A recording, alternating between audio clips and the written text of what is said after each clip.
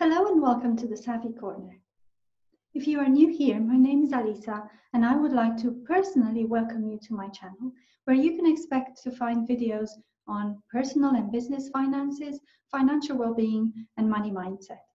If you're not new, thanks for stopping by again. If it was the title of this video that attracted you here, then I assume you have a business and you'd like it to generate more money for you. If that's the case, you are in the right place because in this video, I will share with you five tips on how to increase your business revenue. Not only that, but at the end, I have not one, but two bonuses for you. So make sure you watch this video until the end if you don't want to miss those. So, you want to make more money. That's fair enough. Most of my clients do. And the first thing I ask them is the same thing I will ask you. What is more? How much more money would you like to make? This is super important. And if you've watched my previous video on achieving financial goals, which I will link for you on the screen and in the description box, you will know that I encourage you to have 100% clarity on your goals. So start by quantifying what more means. Put a figure to it. All right, now you have a number to work towards. Now, let's look at how you can go about making this extra money. Before we do that though, I'd like to say that the five tips I will share with you are likely to be relevant for most businesses, but as you can imagine, they might not apply to your business 100%. So instead of seeing them as hard and fast rules for revenue increase, I'd like to suggest that you see these tips as best practice if you want. Now that that's out of the way, let's jump straight into the tips. The first tip is to give more. This might sound counterintuitive, but you have to show your clients how you can help and deliver value to them before they pay. Please don't confuse this with working for free. What I'm talking about here is the concept of results ahead of time, which I learned from one of my coaches, Brooke Castillo. If a prospect can get results from you before they pay you, then they will be more inclined to get their wallet out. In order to do that, you need to make sure that you put in front of your clients insightful and relevant information and value in the form of written content, podcasts and videos, workbooks and tools, speeches and webinars. Don't be afraid of giving away too much information or too much value. What people mostly struggle with is the implementation of that knowledge, of that information. And that's where you come in, and that's what they will pay you for. Similarly, if you are selling a product, giving away free samples to demonstrate that the product works will mean that people are more inclined to buy the full size because they got results from the sample. The more you give, the more you get. The second tip is to build assets. Identify the unique selling point of your business and start building assets around it. Let's talk about assets for a second. What are they? The formal definition of an asset is that of a resource controlled by the entity and from which future economic benefits are expected to flow to the entity. Now, that definition is a bit jargon heavy, but what it's trying to say is that an asset is something that is yours, something that you own, which is likely to generate money for you in the future if you want to sell it or use it in some way you probably already have assets in your business. The building that you work from, the phone that you use, your computer, any equipment that you might use. However, the assets that I'm talking about are the ones that make your brand unique. Everyone has a phone and a computer to work from, but what is it that is specific to your business that is an asset to you? What I'm talking about here are intellectual property rights, ebooks or books, webinars, programs, courses. The more unique assets you have, the more you will be able to leverage them to make more money in your business. This strategy is no quick win, But in the long term, it is definitely worth it because it can turn into one or several sources of passive income.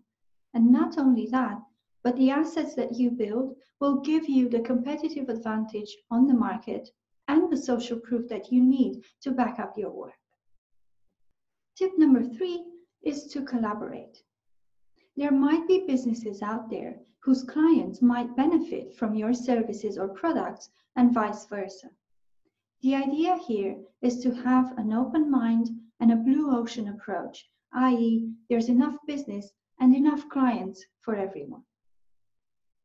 Now, some of these businesses might be in direct competition to you. That's okay, you can still collaborate. But you have to make sure that your proposition for collaboration benefits both parties and is well thought through.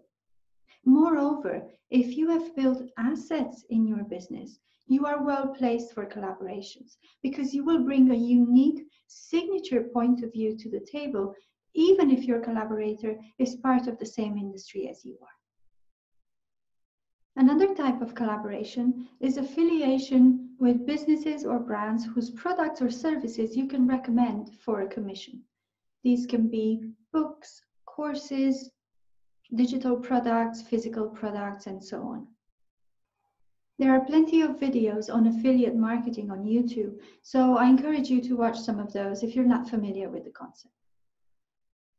Be creative and even bold in your approach and package together an offering that is really valuable for your target market. So please don't just recommend random stuff that your audience is not interested in. Make an effort and be intentional about the products or services that you recommend. And perhaps an unnecessary thing to mention, but I will mention it anyway. Please make sure that you are happy with the quality of the products or services that you are recommending and with the reputation of the brands that you choose to associate with. Because your own reputation could be at stake, you want to be extra diligent when you choose who to associate with and what products to recommend. Tip number four is to review your prices. When was the last time you had a look at your prices? You could be jeopardizing your efforts in other areas of your business, such as production, sales, marketing, business development, if you are not charging the right price to make it worth it financially.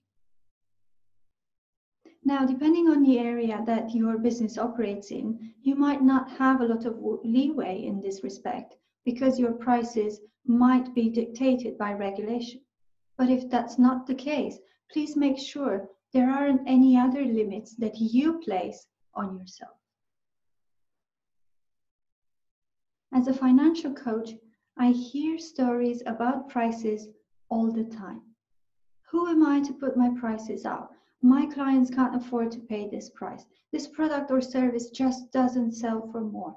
I will lose existing clients if I put my prices up, etc., etc. I will say one thing. Stop assuming what your client is able and willing to spend in order to get rid of a problem.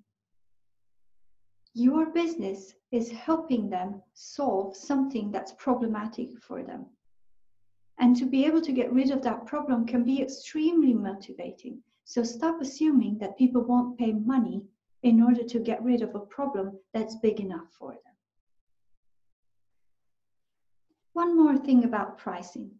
Did you immediately switch your mobile phone network the moment you received a text that their prices are going up in line with RPI, which stands for Retail Price Index? No, of course you didn't, because all providers put their prices up and RPI and inflation applies to you just as much as it does to them. The fifth and final tip is to invest in your business. This ties in with tip number one of giving more, but it applies in a different way. It means spending time, money, effort, and attention by investing into good processes, systems, tools, and people. And by people, I also mean you as the business owner. Your business can only grow to the extent that you can. So please don't neglect yourself as the most important asset that your business has. Your health and well being, your mental health, and your skills and knowledge are all aspects that you should be focusing on as absolutely necessary for your business's success. And there you have it five tips on how to increase your business revenue. At the beginning of the video, I told you that I have two bonuses for you. And here's the first one. I created a workbook to go with this video, and I'll put the link to that workbook in the description box below. It will prompt you to think about how you could implement these five tips into your own business. The second bonus is an extra tip on how you can make more money in your business. And that is by managing your relationship with money. The way you treat your own money is likely to be reflected in the way that you treat your business finances. There's definitely a connection between the two. If you can't manage your relationship with money, you won't be able to manage your business finances in a way that is conducive of making more revenue. A lot of the financial decisions that we make are based on the feelings that we have around money. And sometimes those feelings are negative. If you'd like to know more about how to deal with negative feelings around money, you might want to stay tuned for my next video in which I will discuss this topic in more detail. So hit the subscribe button and the notification bell if you don't want to miss that video. That's it for today. I hope you enjoyed these tips and if you intend to apply them to your own business, or maybe have some other tips that I haven't mentioned, please leave those in the comments below. I hope you enjoyed the video. I'll see you in the next one. Bye.